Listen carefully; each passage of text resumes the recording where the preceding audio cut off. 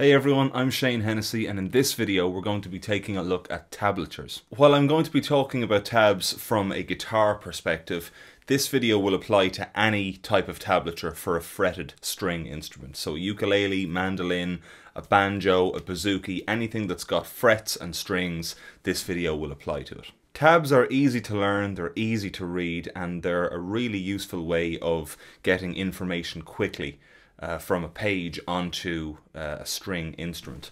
But I always remind people that tabs should be used in conjunction with learning by ear. They should never really just be used by themselves. You should always try to work on your ear skills with tabs as well. Tab is really useful, but it does have its limitations as well, and it can never really replace listening to the piece of music that you want to learn and watching performance videos. So first of all, what is a tab? A tablature is a method of notation for fretted string instruments that shows you which frets to play on each string as a piece of music progresses.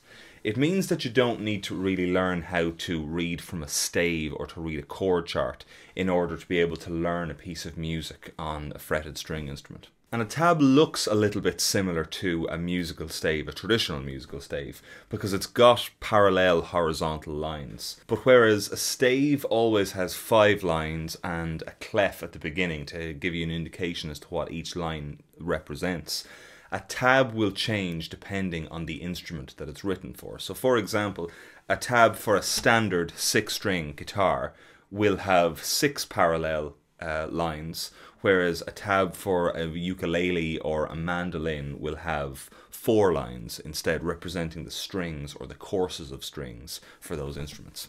But it's always the same kind of idea when it comes to tabs, in that the top line on the tab is also the top string or the highest string usually on your instrument. So when we look at a guitar tab, for example, we have six lines. The very top line, the one on the top, is going to be your first string on the guitar. Coming down from there, then the second line is going to be the second string and onwards all the way down to the lowest string, the sixth string, which is on the bottom on the tab. And a helpful way to remember this is that if you were to look at your guitar as you hold it, the way you would see it is that the, the, the highest string or the top string is on the top and then as you're looking down here the bottom string is on the bottom and the tab is written the same way so it's the same view that you have when you look downwards at your instrument. On each line of the tab, numbers show you which fret to play on each individual string of the guitar. So for example, if we look at a tab and on the first line, on the top line, we've got the number 3, it means that at that point you should play the third fret on the first string and make that note. Similarly, if we looked at a tab and we had the 8th fret on the second string, it would mean that we go to fret number 8 and we play that. If the number 0 is written on a particular string, for example the fourth line down, that would be your fourth string on the guitar, the number 0 represents an open string, so it would mean that we would play this. That's generally for single notes. To display chords in a tab, we stack up the numbers of the frets that we need to play vertically on top of each other. So for example, a standard G chord, like this, from top to bottom on a tab, you would have 3, 0, 0, 0, 2, 3. And that represents fret number 3, open string, open string, open string, fret number 2, fret number 3. We always read tabs left to right and the notes are in the order that we need to play them in. In the majority of tabs that I've seen, you'll usually have an accompanying stave as well. And that stave will usually give you things like a tempo marker, it'll give you a key signature, um, it might give you things like a time signature as well, but sometimes you'll come across um, a tab with no stave and you might not actually get that information. So what do you need to actually know to be able to read and use a tab? Well, the good news is that you don't need any special information. As I've said up to now, the top line of the tab represents the top string on your fretted string instrument. The notes are always written in chronological order, so in other words, the order that we play them in. We always read it left to right. That's all the basic info. But going on from there, there are a couple of symbols that we need to learn uh, to understand what they represent on a tab as well. You'll also often find with tabs that there are accompanying chord charts that appear above the tab on certain tabs, not all of them, but sometimes you will come across these chord charts. It's not always immediately obvious from a tab what musical changes are happening in a um, in, a particular section of a song if you're reading it just from the tab alone. So the chord changes really give you a better idea of musically of what's going on. So these chord charts are usually written vertically and it'll give you an idea of the fingering that you use to make that chord. And looking at the chord chart straight on, it's helpful to think of it as the view you get when you look directly at, at your fretboard. So for me, it's holding the guitar and looking directly at it. That's usually the way the chord is written in above the tab. The first box of the chord chart will be the entire first fret of the guitar, and you'll see the six strings in the guitar's case. Um, or for your own instrument, it might be four, five, six, seven strings, whatever it is. Um, so the first box you see will be the first fret, the second box will be the second fret, and so on from there. Sometimes also you'll see chord charts that have a little number beside them. For example, if you had a chord chart with the number 7 written beside it, that means start the shape from the 7th fret. The numbers on these chord charts refer to the finger that you use to make the chord shape in question. And as a quick crash course, your index finger is number one, your middle finger is number two, your ring finger is number three, and your pinky is number four. And even though I haven't seen it before, I sometimes put in T for thumb as well because a lot of the chords that I make in my um, songs and tunes, I end up using my thumb in them as well. So sometimes you'll also see T written in there as well. So as an example, here's the chord of E minor, a basic E minor chord. It's got open strings on the sixth string, the third string, the second string, and the first string, and it's got two fretted notes. They're both on the second fret on strings number five and number four. Sometimes you'll also see a bar that goes across multiple strings. So for example, the chord of F sharp major has a bar going across the entire second fret, and it's also got um, some fretted notes beyond that. It's also got two fretted notes on the fourth fret on strings five and four, and you've also got a fretted note on the third string on fret number three as well. So we are fretting on each string, but the bar chord is what's important here. Um, the bar along the second fret to create that F sharp major chord. And just so we don't get confused, I would think of these chord charts more like photographs and to think of the tab as a map. The chord charts only really give you information about the chord that's being played, whereas the tab gives you, the melodies, the the kind of the single lines, the arpeggios, some of the bass runs, the the more intricate info, and it happens over time. Whereas a chord chart is just it's kind of like taking a photograph of somebody playing the guitar and the shape they're playing at that moment. They're also really handy if you're giving um, you know music to another musician. They may not be able to read the tab, but they should be able to follow along if there are chord charts written in on top of the tar- of the tab as well. If you've got to this point in the video, I want to know what you think about tabs. So I want you to go into the comment section and write, here's what I think about tabs, and let me know your opinions on using tabs. Are they good? Are they bad? Do you find them useful or not? Have you ever even heard of tabs before? Whatever it is, I want to hear your opinion on it in the comment section. Now let's talk about some of the symbols that we need to know. So while tab gives you information about which string to play, which fret to press down, and when to play the note, we need some symbols to really get across more information about the dynamics of a piece of music. The most common symbol you'll see written in guitar tablature is probably PM, which stands for palm muting. If PM, and sometimes a series of lines, is written above a section of music in a tab, it means that you should play that section using palm muting.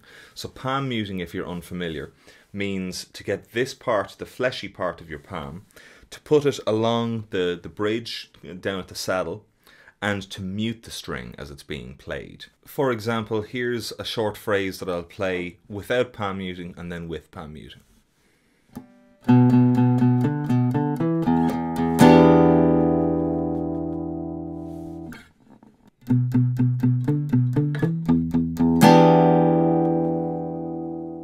Sometimes on a tab we'll see the letter X written and this generally means a muted note.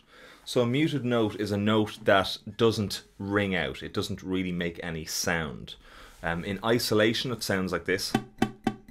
so that doesn't really sound like much.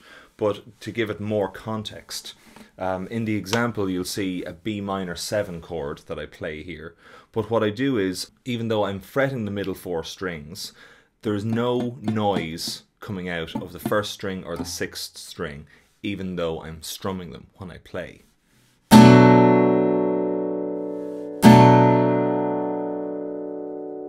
And you hear there the sixth string, no noise, first string, no noise. And I'm catching them with the kind of the outer parts of my fingers. I'm muting those notes intentionally. So that, that's what the X represents on a tab. And bear in mind, these notes can sometimes be included for percussive effect. If you're familiar with my tune Avenue, there are an awful lot of X's written in on that tab to signify all the percussive ghost notes that I play in that groove. Another really common instruction is let ring, which is fairly self-explanatory. It means that any note that you play, you should let it ring, you should let it sustain as long as possible. For example, uh, the phrase I'm going to play now won't be sustained. I'm going to mute every note. When I let them all ring out, it sounds like this.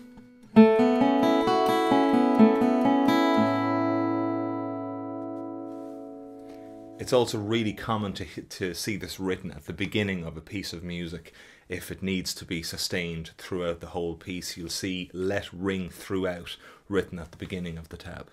So when we want to notate bending strings on a tablature, we employ the use of arrows. Now there are lots of different ways to bend a string and it's more common to find this on guitar tabs because generally the strings are looser. You don't really find this on mandolin tabs or banjo tabs, tenor banjo tabs a huge amount, but you do find them particularly on electric guitar tabs an awful lot. And depending on the shape of the arrow and the number that goes along with the arrow, it gives us different information as to how to bend a string and whether or not we let it go and up to what pitch, etc. etc. So the most common one you'll come across is probably a half step bend. That's where you start on a note. Let's say the tab has number 7 written on the second string. That'll be the 7th fret, the F sharp note. You'll have an arrow that starts uh, kind of uh, going towards the right and also going upwards and depending on the number written above it, it tells you how much to bend. So for example, if you have the number 7 and then the arrow goes up and it says 1 over 2 or 1 half, it means that you, you should bend up a half step. In other words, you want to bend from F sharp up to G. So the instruction tells us to play this. Like that. We've bent the string from F sharp up a half step to G. Like that if the instruction tells us uh, to bend up a full step, it'll have the same arrow curving upwards, but it might have the number 1 and it might also say full step. So for example, if it gave us the number 12 on the second string, that would be B. And if it said full step, we would need to bend not to C, but to C sharp. That's a full step. A half step would be to C, a full step from there is C sharp. So the instruction tells us to play this. That's a full step bend. Building on that, you might also come across a curved arrow pointing up to a number or a fraction and then bending back down, so an arrow coming down in the other direction back to where it started. This tells us that we should bend up to a note and then bend back down. For example, if we use the same two notes again and the same two intervals, if we were to start on the 7th fret on the second string on the tab, the number 7 would be on the second line down. The arrow up tells us to bend up from F sharp to G, but unlike the first time, it's also telling us now to bend back down to F sharp in the same movement. So the instruction gives us this.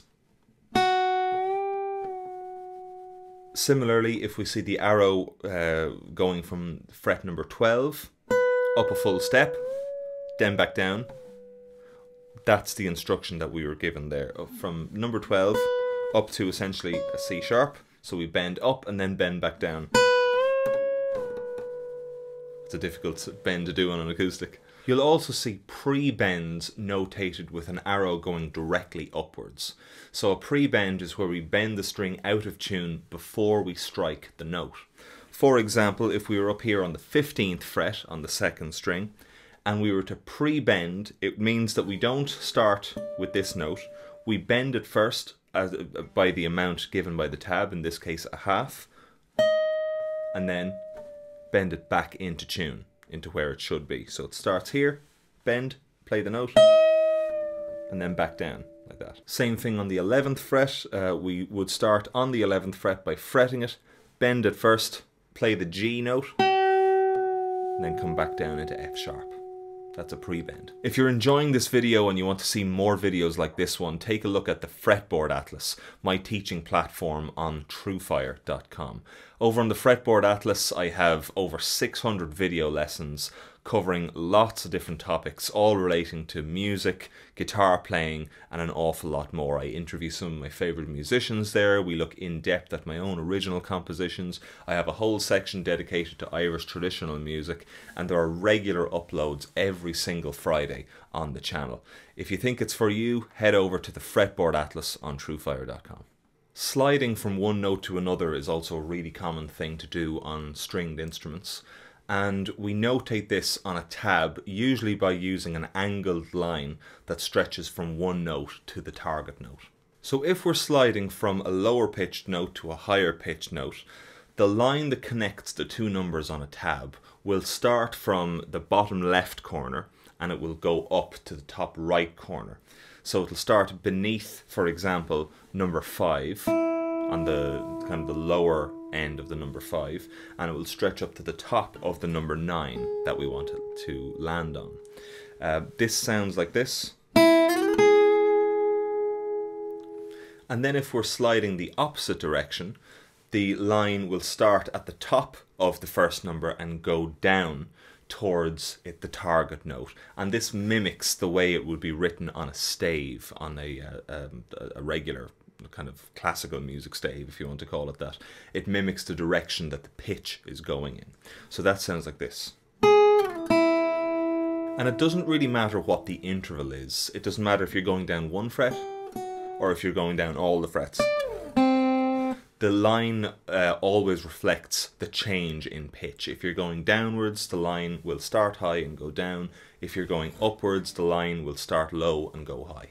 You can also sometimes find an arc written over the slide on the tab and this tells you that the slide should be a legato slide. So the difference between what we did before and what we're going to do now is that before we would essentially pick both of the notes and slide in between. This time we're going to use the energy from picking that first note and sustain it up into the next note. So you see I'm only doing one movement with my hand there. That's a legato slide. Doing it in the opposite direction then, like that. And again, the way this is notated on the tab is by putting an arc over the, um, the angled line that joins these two notes. Sometimes we also need to notate slide ins and slide outs.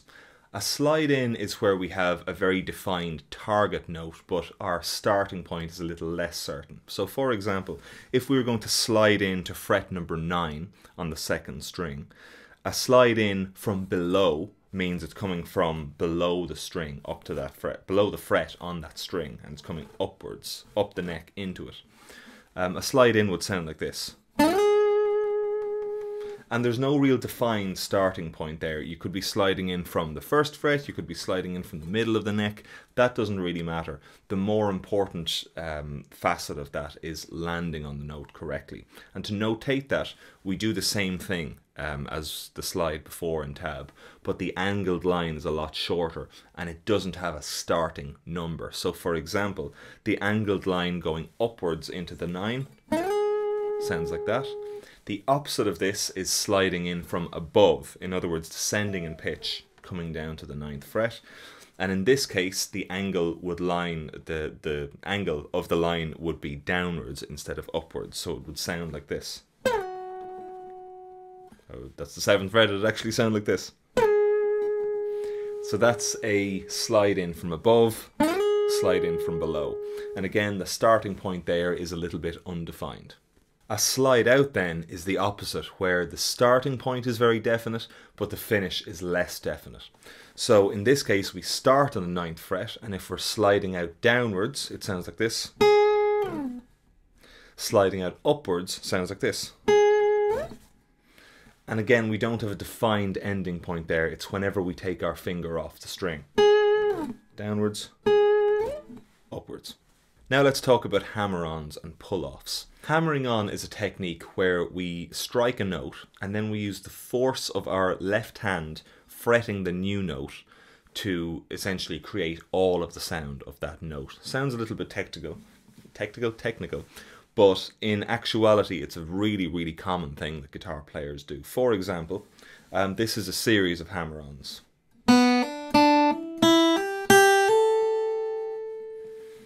So musically there we have eight notes. We're only striking the strings four times in total. What's happening is we're playing a note using the force of the finger, uh, like this, to get the note. Same thing again. Hammering on to the next fret. Hammering on. Hammering on. So that is very much a, a um, fretting hand movement that we're doing there to get the note. To notate this in a tab, what we do is we draw an arc between the starting note and the note that is to be hammered on. So for example, if we had a zero on the second string, and then we were going to hammer on to the third fret, we would have zero and an arc leading on to the three. That tells us to hammer on to the third fret. Then again, three up to five.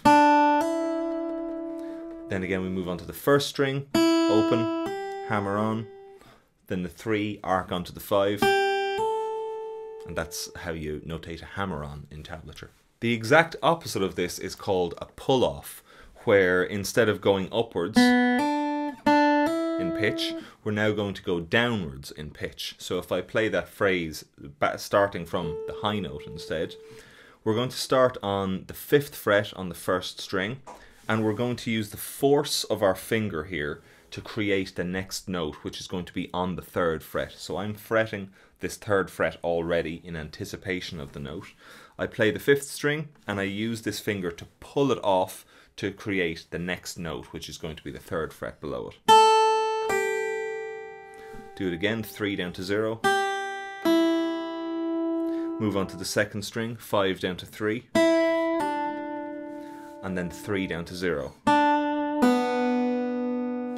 And that's a pull off on the guitar. To notate this in tablature, we do the same thing as the hammer on. We put an arc between the starting note and the target note. And for a pull off, instead of writing H for hammer on, we write P for pull off. Similar to bending, vibrato is a really common technique that we use on fretted string instruments.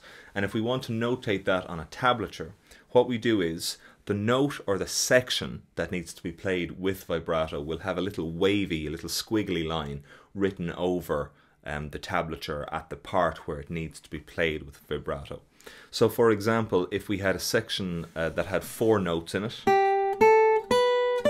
G, A, B, D, frets number 8, 10, 12 and 10 again on the um, highest string, and only the third note needed vibrato, we would have 8, 10, then 12, and above that 12 on the tab, a squiggly line, you'd have a vibrato. Now, it doesn't tell you what type of vibrato, that's a different thing altogether. And then finally, um, the, the last note with no vibrato. That's how we would notate it. So once we get to that number 12, we could have a vibrato that's like this, or a vibrato that's like this. It's similar to bending in that we are technically bending the string a little bit out of tune or, or away from its original pitch. Uh, but it's a lot more subtle than bending. We're not bending up to a different pitch, we're staying in or around that kind of home base. Tapping is something that we come across in tabs an awful lot as well, particularly in the fingerstyle guitar world. Um, there are two different kinds, um, and they involve two different hands. So for left hand tapping, uh, in my case, I should more correctly say fretting hand tapping. Um, these are kind of generally known as hammer-ons from nowhere. And if you remember from when we just spoke about hammer-ons a few minutes ago, uh, we make a note and then we use the force of, of uh, the finger to create the next note. This is the same idea except for we have no starting note. So we're hammering on out of completely nowhere. So if I play a four note uh, pattern, let's pick this. Okay, G, A, B, D again. If I hammer on uh, from nowhere for all of these notes, it sounds like this. Purely a, a fretting hand exercise. Okay, not a huge amount of volume created there. But that is um, the, the technique. To notate this on a tab, we would have a little arc starting before the note that we want to land on. But you'll notice that it doesn't have a number at the beginning of the arc because there is nothing to be played. So that tells us that the arc means we're going to hammer on, but we're not starting anywhere to achieve that hammer on. We're depending purely on the force of our hand to get it like that. So that's fretting hand tapping. We've also got picking hand tapping. So that means coming uh, up onto the fretboard with your picking hand, in this case my right hand, and playing the same notes, but we're going to get them instead with the force of the picking hand. Like that. I'm also actually muting the strings here as well. That doesn't have to be done do it that way as well. To notate this on a tab, what you'll usually see is the letter T written above the note that needs to be played. Um, and that's usually it. So, so uh, when you see the letter T for tapping, it means you're using your picking hand. If you see it, the hammer on from nowhere, it means that you're using your fretting hand. But it's the same movement by both hands. You are kind of tapping the note without any starting point beforehand. On some tabs, particularly on bass tabs, you'll find notes with the letters S or P written above them, and this refers to slapping and popping. So if you're going to slap a note, it means that you get the note, you strike the note with your thumb on your uh, picking hand, and you kind of bounce off. It's like nearly a basketball style motion, where uh, instead of leaving your thumb on the string, you bounce off it that's slapping the string, and it gives you this kind of thud uh, sound underneath the um, the note that sounded as well. Um, you've also got popping, which is kind of the opposite, where you get your fingers underneath a note and pull it outwards from the guitar, like that. And that causes the string to, to essentially, um, the, the force of it slaps back against the, the fretboard of the guitar, and it creates this popping sound. So there's a slap, and there's a pop, like that. To notate these on a tab, um, as I said, we put the letters S or P above the notes in question. So uh, the example that we have written out in the tab sounds like this. Two, three, four.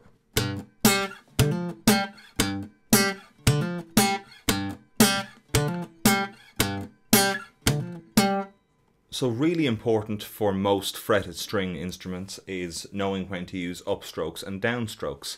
And if we want to symbolize these on a tab, we've got two symbols, one for upstrokes, one for downstrokes.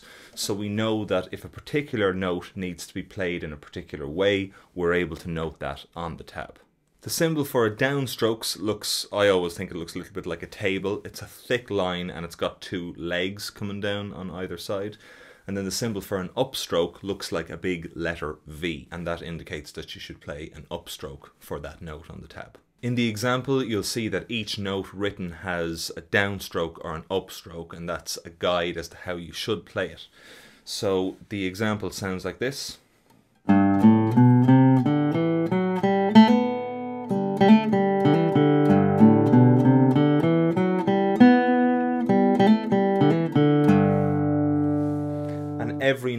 Has a very specific way of being played, be it a downstroke or an upstroke. And these symbols can also be used for strumming. So for example, if we have a passage that sounds like this,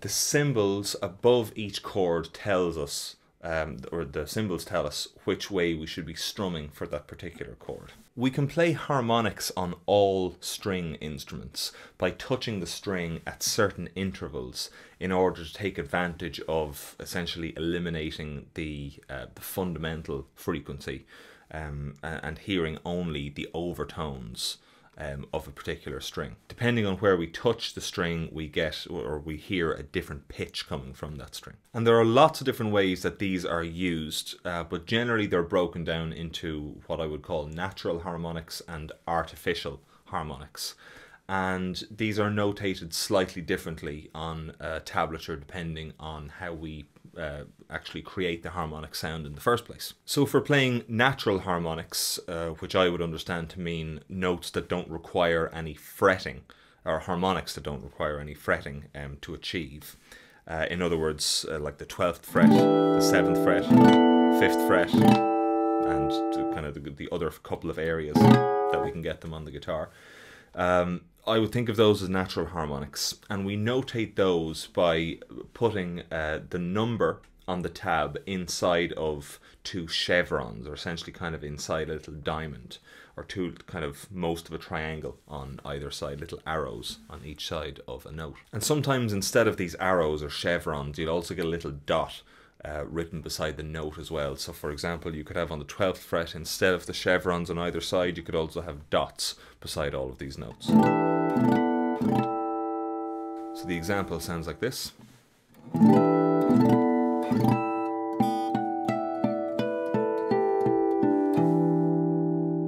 Then in the case of artificial harmonics, which are harmonics that require fretting to achieve, uh, we need a little bit more information on the tab. What we usually have is the number of the fret that we have to hold, and also the number of the fret where we're achieving the harmonic we're looking for as well. So for example, if I were to hold a regular G chord, okay, this is a, well, it's a G bar chord, or if you follow the CAGED plus system, it's G is an E shape what I would write on the tab is each of these notes, or uh, each of these frets rather, you would have 3, 5, 5, 4, 3, and 3. And then I would also have the number of the fret at which we play the harmonic. So if we're going 12 frets up from the third fret, we end up on fret number 15. So we'd have the number 3, and then in chevrons beside it, we'd also have the number 15. And that would give us this sound and if I went through each string of the chord, it would sound like this.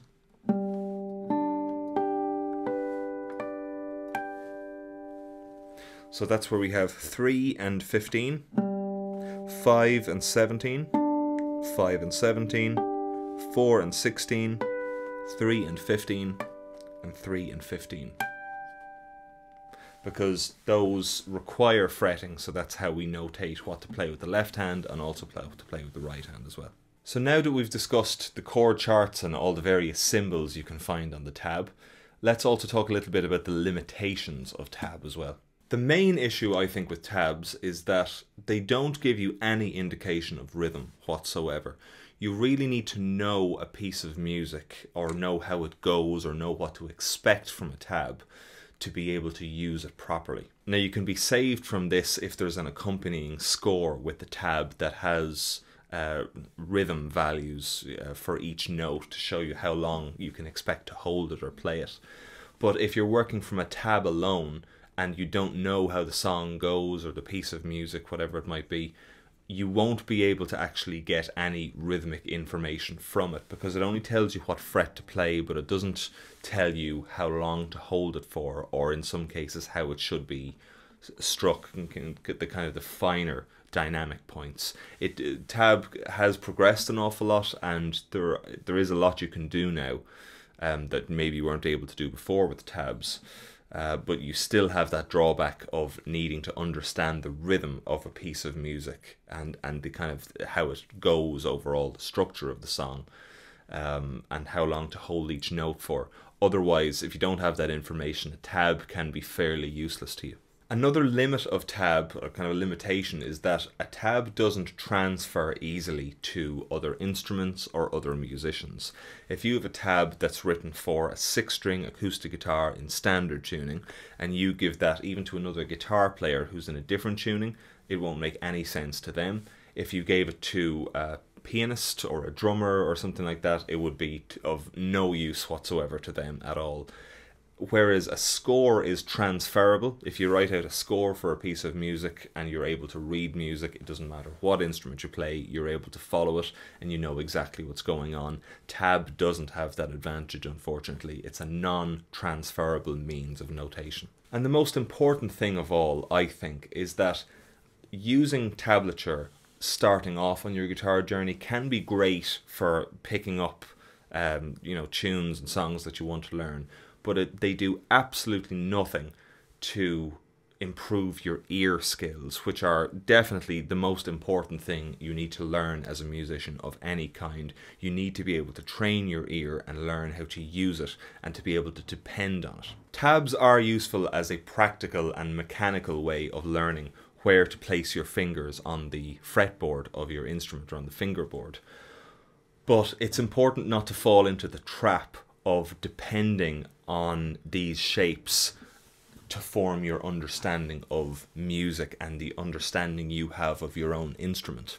I think it's really important to take a deeper look at what you're playing once you've learned how to play it. In other words, there's absolutely nothing wrong with getting a tab, following along, and learning a piece of music, but I think it's also important then, once you've learned it, to go back and really analyze it, to really take a look at okay, I've learned how to play this particular passage, but let me try and find out what chord is actually going on here. Can I identify what this is built from? For example, if I'm playing an arpeggio like this,